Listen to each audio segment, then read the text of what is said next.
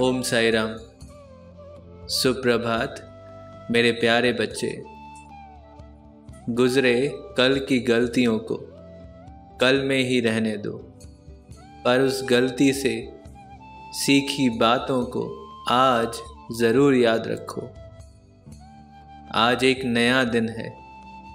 अर्थात, तुम अगर मानो तो आज तुम्हारे नए जीवन का पहला दिन है, जिस पल तुम अपनी गलती स्वीकार करते हो, सब बदल जाता है। यहाँ तक कि तुम्हारे कर्म भी अपनी दिशा बदल लेते हैं। हिम्मत चाहिए होती है अपनी गलती मानने की।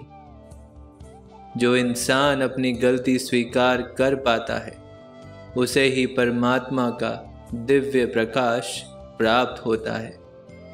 यही दिव्य प्रकाश सारे अंधेरे दूर करता है और जीवन में स्पष्टता और शांति लाता है। एक नया कदम उठाओ इस विश्वास से कि तुम्हारे बाबा तुम्हारे साथ हैं। तुम्हारा आज का दिन शुभ और मंगलकारी हो। जय साई राम